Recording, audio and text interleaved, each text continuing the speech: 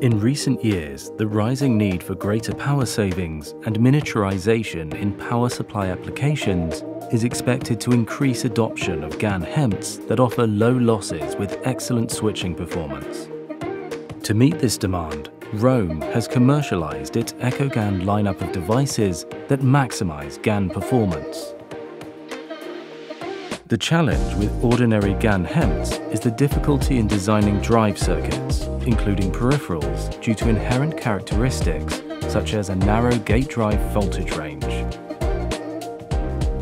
In response, Rohm has developed power stage ICs that facilitate mounting of GaN power circuits.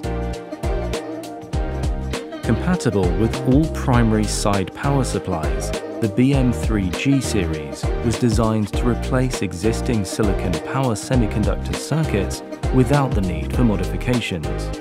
These new products combine Rohm's original 650 volts EcoGaN with additional features such as a dedicated gate driver and temperature protection in a single package.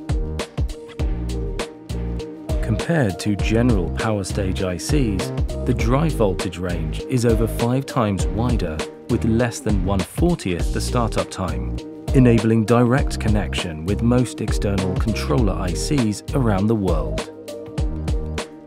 In addition, the system-in-package design integrates peripheral parts, including power stage-related components, into a single IC, contributing to greater miniaturization by reducing the number of external parts required.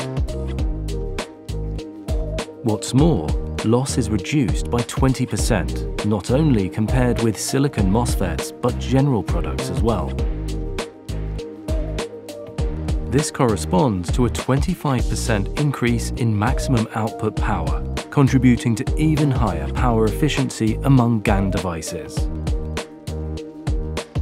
A two-model lineup is offered in different on resistances, Combining 650 volts EcoGaN with fast startup time supports a broad variety of primary power supply topologies.